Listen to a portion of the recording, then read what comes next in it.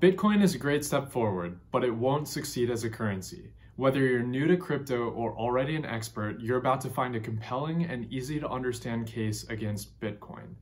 And to start, uh, here are four reasons why Bitcoin will fail. So first up, Bitcoin is inherently deflationary.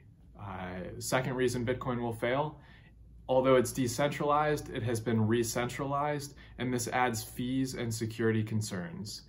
Uh, third reason, Bitcoin is volatile. That's widely stated, and that hinders it from becoming a widely used currency.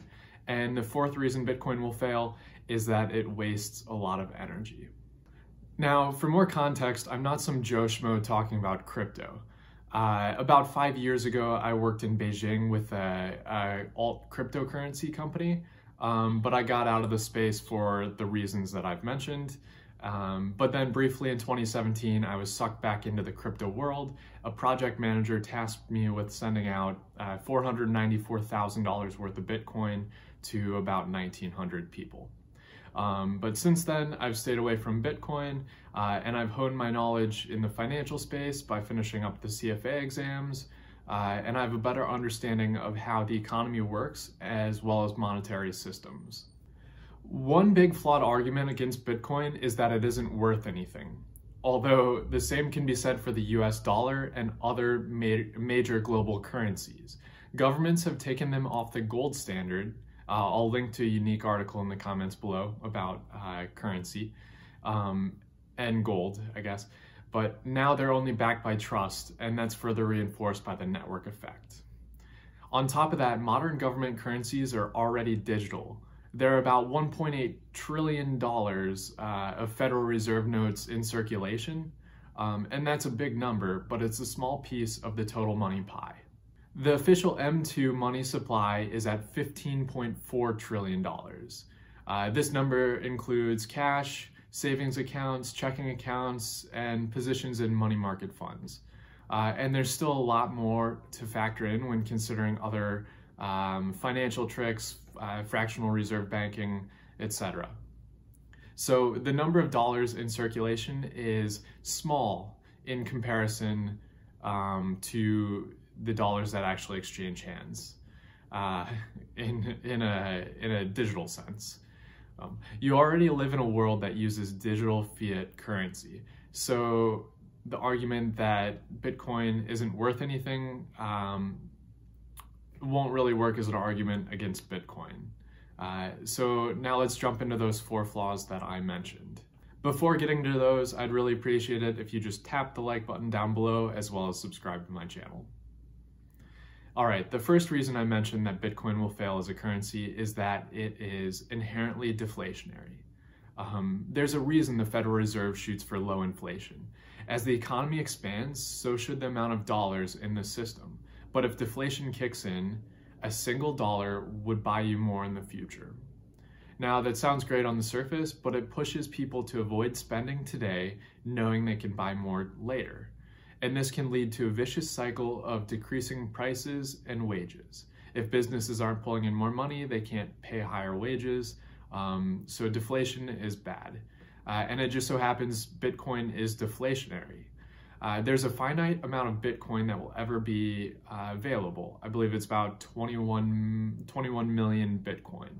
Uh, but on top of this, there's added deflationary pressure.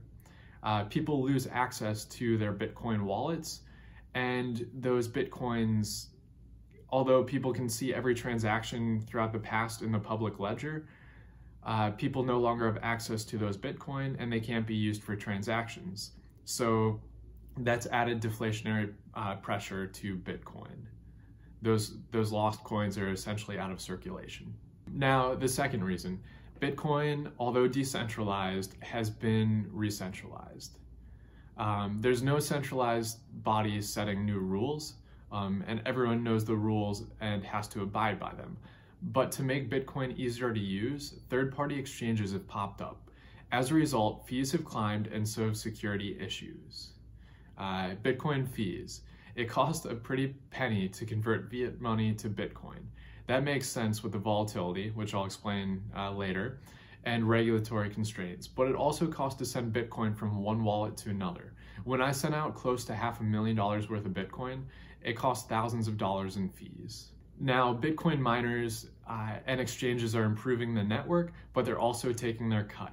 This makes Bitcoin less cost effective for transferring money. Security. Uh, the Bitcoin blockchain is extremely secure, but to leverage it, humans have to interact with it, and we all make mistakes.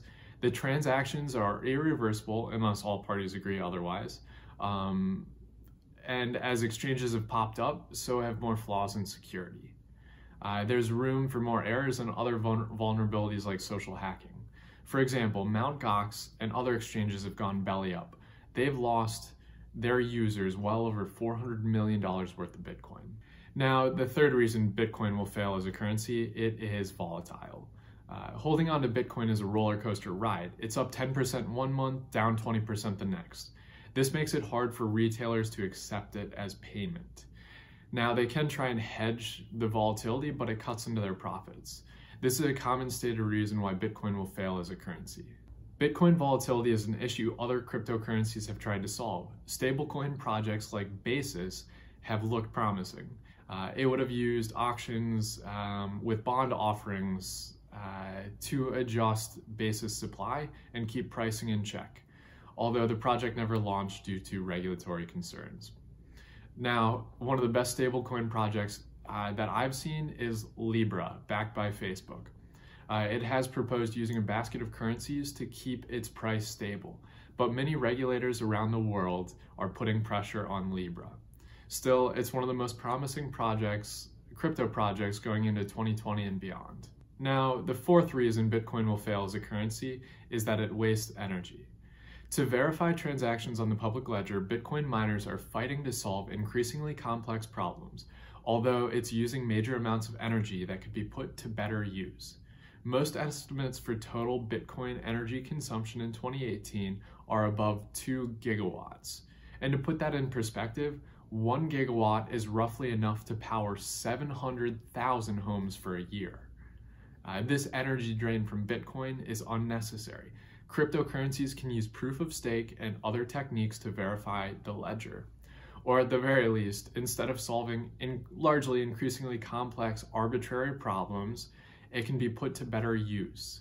We can put all that grid computing power towards protein folding research, weather mapping, and other intensive computing projects to benefit humanity. Although I've given you four clear reasons why Bitcoin will fail as a currency, uh, there's still a sliver of hope. If enough miners on the network agree, they can fork the code.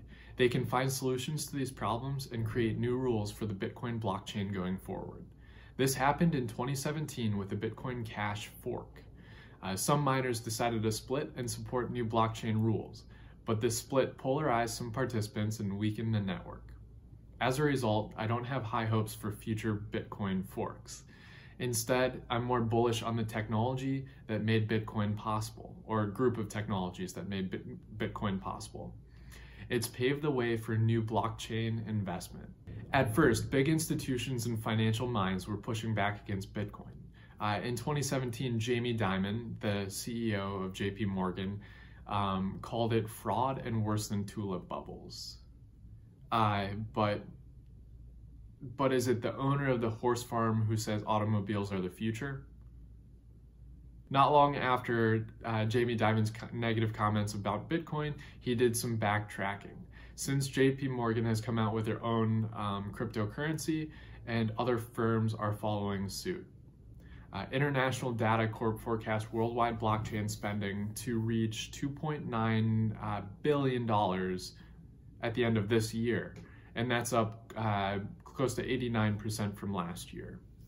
Overall, Bitcoin will likely fail as a currency, but it's leading to some really unique uh, and useful innovation. Um, I'm looking forward to the future of currency. Now, if you have any comments, questions, concerns, I'd really appreciate it if you leave a comment below. I read every one. Uh, and on top of that, I'd really appreciate it if you just tap that like button down below, as well as subscribe to my channel. And uh, see you next time.